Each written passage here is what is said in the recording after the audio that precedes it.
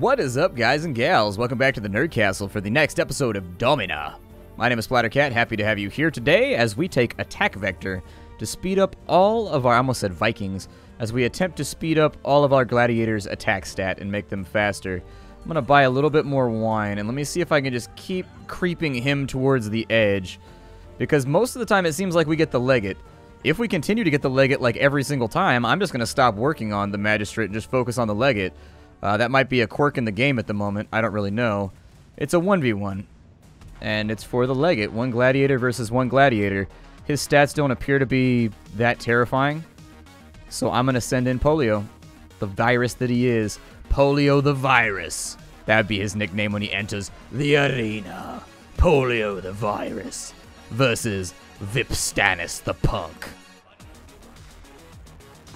Can you tell the fight is stacked in my favor right now? Ooh, lopped his damn head off, man. Polio, have a have a little bit of mercy. Have some heart, man. Give him a chance to surrender, but you was just like yoink off with his dome. Jesus. Jesus. Well, let's keep you upgrading then. I mean, if I can afford to do it, I can afford to do it. When things are good, things are good. So let's keep his gear all nice and stacked up. For some of my secondary champions, we're going to do the same thing.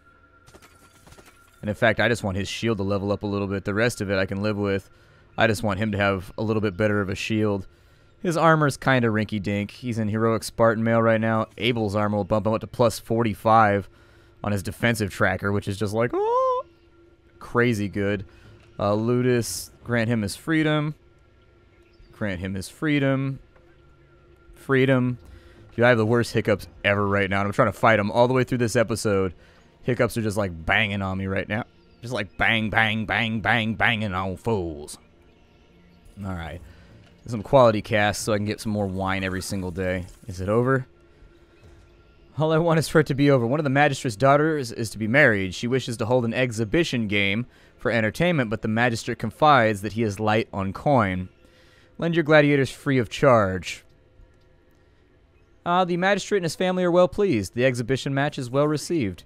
And we actually need every chance we can get to get him creeped up because his morale's a little bit lower than I like it to be. Although it looks like all my fights are coming from the legate, so why worry about it? In all fairness, the legate's still not feeding me super stacked fights yet. I keep hoping he will, but he hasn't done it. Now, aim defense is up next, so that that'll hopefully be done by the next time we get a fight in there. Doctor's helping out with healing, so that should go pretty quickly. How are your stats all looking? Your stats are looking glorious. They're looking very nice. Uh, your stats are coming along too, although you've only won a single fight.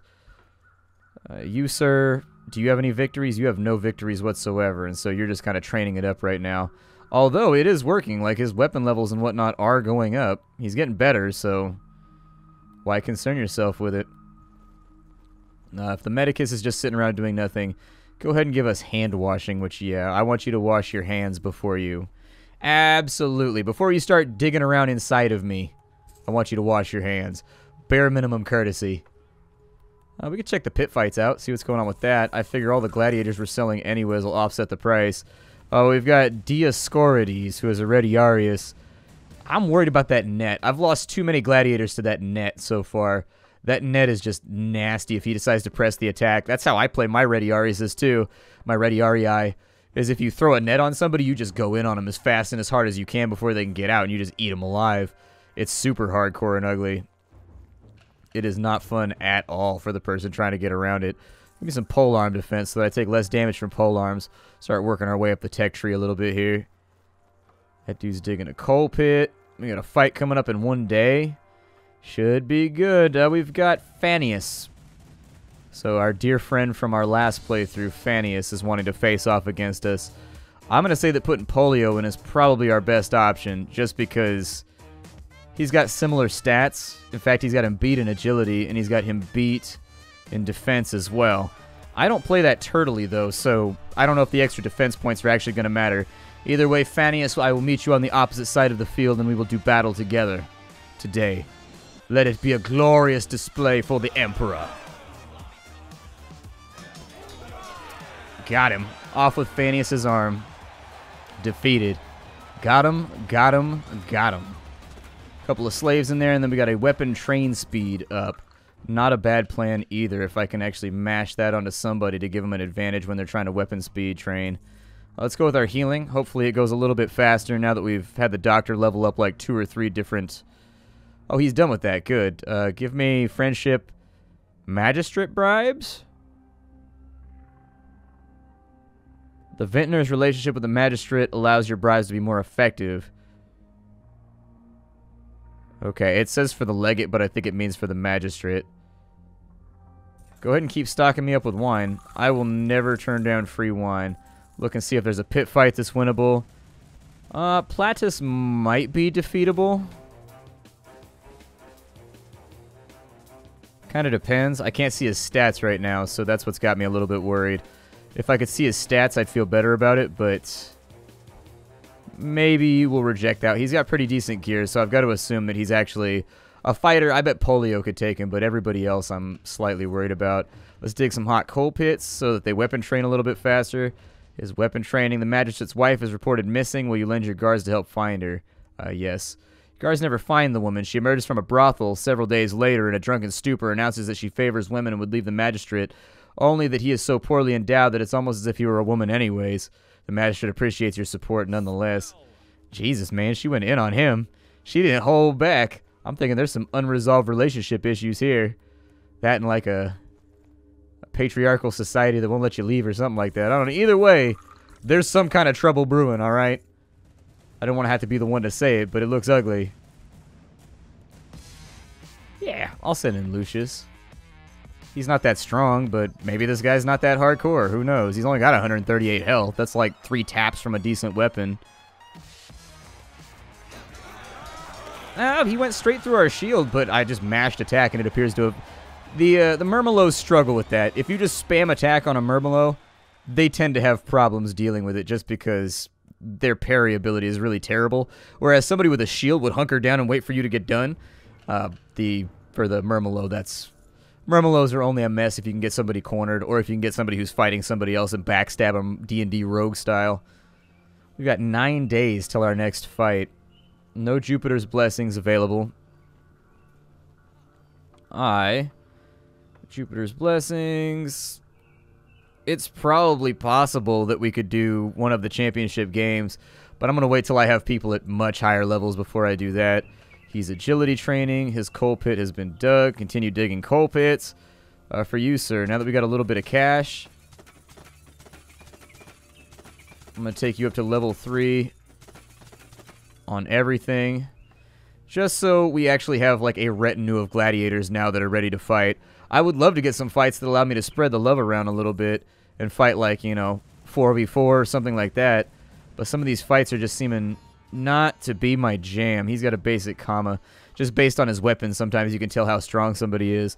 And a basic comma will be hitting you for over 80 a swing, which means that there's very, very little tolerance uh, for stuff to go right there. We have a couple of days left. Training is going well on all of our main guys. Okay, looking at everybody's stats and just kind of panning and scanning through, trying to see what they have going on.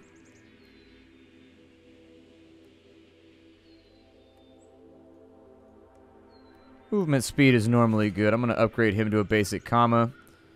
Upgrade you to a basic comma as well. Just so I got a couple of people, I mean, just so everybody I have has a really good thing. Uh, we could do evasive roll next. Deep breathing is not terrible either. If you're trying to get some HP back in the middle of a fight, it saved me before. It saved me a couple of times, in fact. We're going to go ahead and sell some of these dudes. We'll actually free the next batch. Uh, this guy is crazy stacked.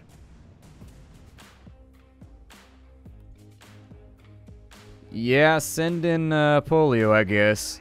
We gotta hope that net doesn't connect, though. If that net connects, we're just gonna be in a world of shit, and we're gonna lose our best guy.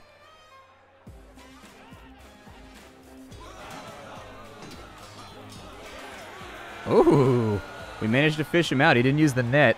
That's what I'm always terrified of with the with the Retiarii. The Retiarii, you never know if they're just going to go net heavy or if they're going to go attack heavy. If they go attack heavy, they're not a great class. Like seriously, they're not an amazing class if they just go in and attack normally. But if they throw the net and then they come after you, it's basically an auto loss. And so I'm always paranoid about fighting them. While obtaining herbs at the apothecary, you spot the magistrate's medicus. You recognize the tinctures that he asked for. They are to treat a flesh-eating venereal disease. Making eye contact with you, he fearfully bids you good day and makes for the exit in a hurry.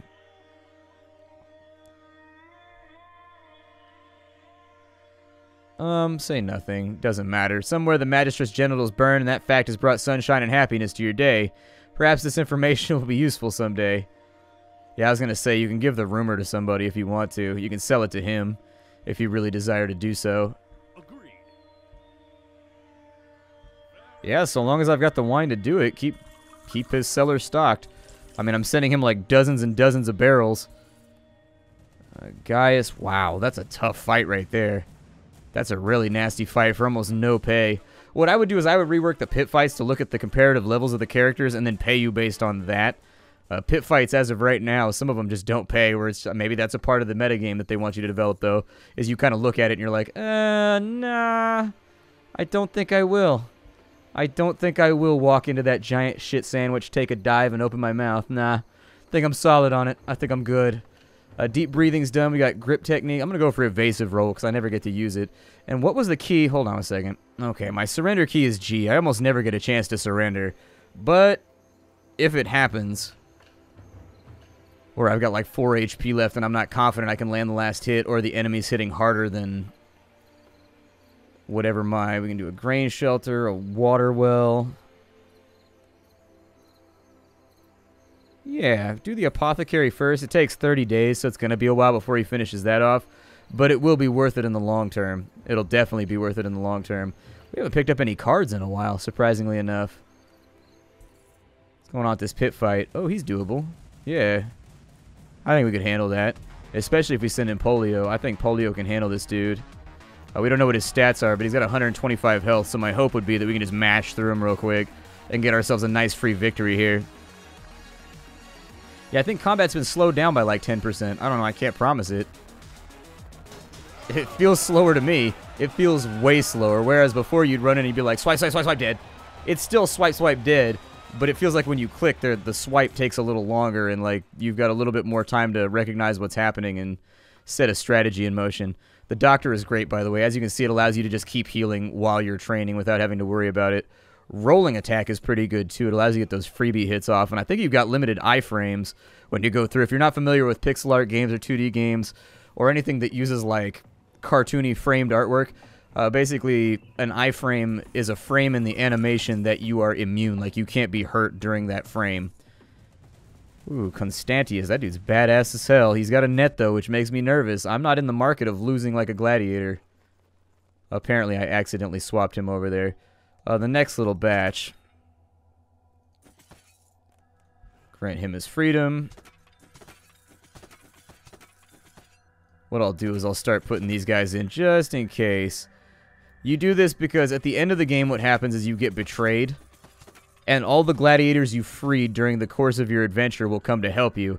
And so if you equip them with gear and stuff before that happens, you'll actually have a big old, you'll have a bunch of warriors rush in to try to save you when the betrayal takes place. Whereas last time I did it, I was basically on my own with like a thousand naked guys. And so we couldn't get the job done. Couldn't get the job done, not even with a thousand naked guys. Not even with a thousand naked guys. Wow. 42, 32, 83 damage. Whew. My shield only blocks like 55. I may walk on this one. My shield will absorb 102. That does mean I can eat his hit. I'm at 23 23. He's got a 32 and a 42, though. I'm going to reject it. I just, I can't do that right now. That's a fight that just, I can't do it. Like, it's a fight that's too risky. I can't lose a champion on a fight like that.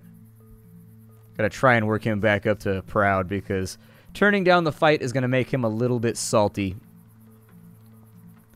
That could have been a big paycheck for us, but it's just like the, the logic of the situation wasn't there for me. Uh, Vintner ain't doing shit right now. Magistrate's temperament's about as high as it's gonna get. So you know what? Goodbye, Vintner. And now I will hire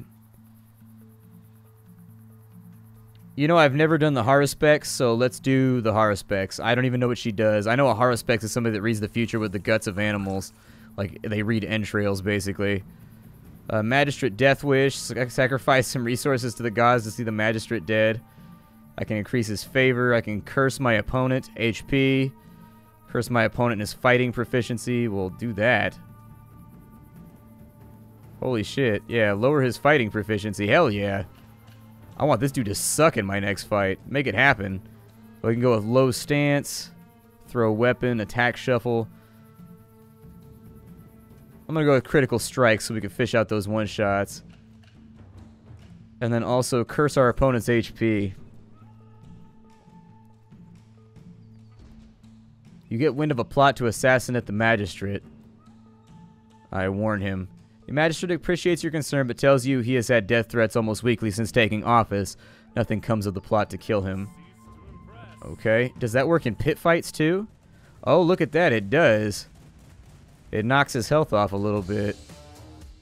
Well, shit, yeah. Send our boy in there to get some more XP. Use this guy as a farming opportunity. Apparently, his fight proficiency would be a lot lower, too. Although I'm going to burn through cash pretty quick cursing the shit out of my enemies like this. God, fight proficiency zero. He just stood there and let me kill him. I expected to eat at least one hit right there because what I did was kind of risky. I double struck. I almost never double strike if I can help it. Let's go ahead and curse our next opponent's fighting proficiency. That was great. Keep that shit locked down. Keep our opponents just unable to fight us. Hell yeah. How's your stats doing? Pretty good. Shit, at that proficiency level, I could start to send in some of the lower level guys. Not bad. Might actually even consider it. So he's got decent gear. Let's get you lined up with something that'll actually allow you to stand in combat for more than a few seconds without getting choked out. There we go. Looking pretty good. Six days till our next fight. We can't attend a pit fight right now. His proficiency will be down. Uh, he's got 14 victories in the arena. Let's send one of the lower level guys in. His fight proficiency should be cursed. So I'm thinking he might be able to hack his way through him maybe. Could be wrong. Like if his... Oh shit, I lost my weapon. There we go. Yeah, his fight proficiency does seem to be somewhat half-assed. It definitely looks like it nerfs their ability to fight you by a lot. So as a strategy, you know how I said it was difficult to bounce back? It looks like the Haruspex might be the way around that. It looks like the Haruspex might be the person you want to look into. Oh, Ludus is over capacity. Grant him his freedom. Grant freedom.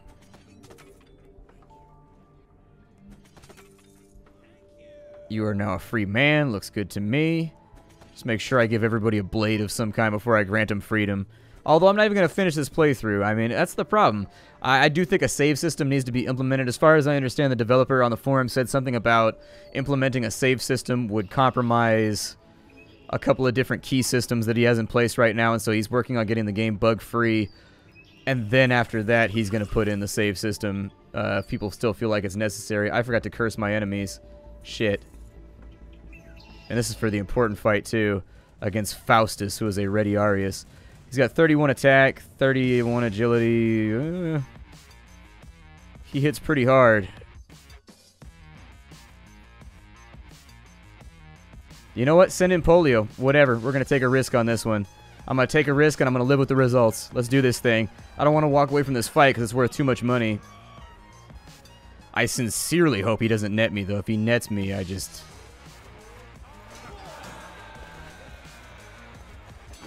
Ooh, got him. Very good. Cool. Sounds good to me. 365 coin, a nice little lineup. Poison Blade is in here. By the way, I'm not playing on the lowest difficulty setting anymore. I reset it after the most recent patch. I'm going to give him Poison Blade. Defensive priority, don't worry about it. Armor Stewardship, I just want cash for that. And that puts us up to 843, which is alright. Uh, our opponent is cursed. Increase my favor with the Magistrate. That's kind of expensive, though.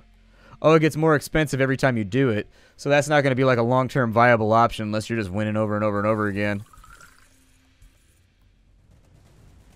Ooh, a Murmillo with a Zwei, huh? That's always tempting because the Zweihander guys, they one-shot you if they hit you. But if they get blocked consistently, it's like you just walk all over them and there's nothing they can do about it. Yeah, I'll send in the king.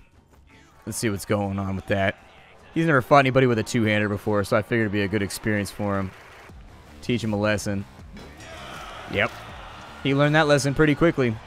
Learned that he's reached that point. Polio is at that point where basically he's indestructible. And so I'll start thinking about putting him into some of the nastier fights and seeing what he can get away with. We'll start working on him next. I'd like to get him up to like, how many battles does he have? 12? Yeah, these two, I'd like to see them get up to about six battles before I do anything else.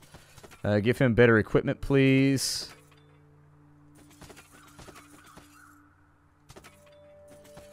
Looks good to me. And then I'm not going to curse the next Haruspex. Actually, yeah, I will. I'm going to curse my opponent's fighting proficiency for the next pit fight so that I can start sending in Lucius and getting him a few more battles in because I'd like him to be level up. We actually got a good stable going right now. This is pretty rare for me. I, I normally don't have a stable like this going into fights, and so I am more than willing to take chances at this point. Uh, Lucius could die here. Uh, it depends on how improficient the enemy ends up. Hopefully he ends up just like a giant cavalcade of ineptitude, like tripping over his own sandals and shit. Oh, it didn't happen that way. Oh my god, 150 damage. Fight proficiency, what happened? Holy shit. The curse didn't work. The curse didn't work, Haruspex. We're going to need to have a long conversation about how the curse did not work, Haruspex. Alright? We're going to have to talk about this. We're going to have to have discussions. Get my money back here. God, I spent so much money on that guy, too. Brutal! Haruspex. Uh, oh my god, it gets so expensive. Alright, she's not even useful anymore, so we're going to fire her. Haruspex, you are no longer useful to me due to monetary cost. Uh, what other people can I get? I can get the Educator. Might not be bad. Uh, the Faber we've already done. The Agricultor. I'm to go with the Securitos. I can afford it right now. Might as well. Let's go Prayer to Mercury to occasionally upgrade a gladiator weapon. Because that sounds super awesome. Uh, grip technique so I don't drop my weapons no mo. An attachment of Pompey's soldiers come across your villa, but they are without a commander. You think they might be deserters. Uh, yeah, send a message to the legate. I will give them respite, but I will secretly send a message to the legate. Before any of your wine has been touched, the legate descends on your villa, surrounding it with his men. The cowardly soldiers surrender, some of them sobbing uncontrollably. They probably should have just taken your stuff and been on their way, idiots. The legate is pleased for the help. He appears to be a hero. Nice. Whatever helps him out with his job makes me happy, man. Perfect. And we're out of time for the day. My name is Splattercat. Thank you for joining me here for the next episode of Domina. I will see you in tomorrow's episode or the next episode, whatever. I appreciate you stopping on in. Bye-bye, everybody.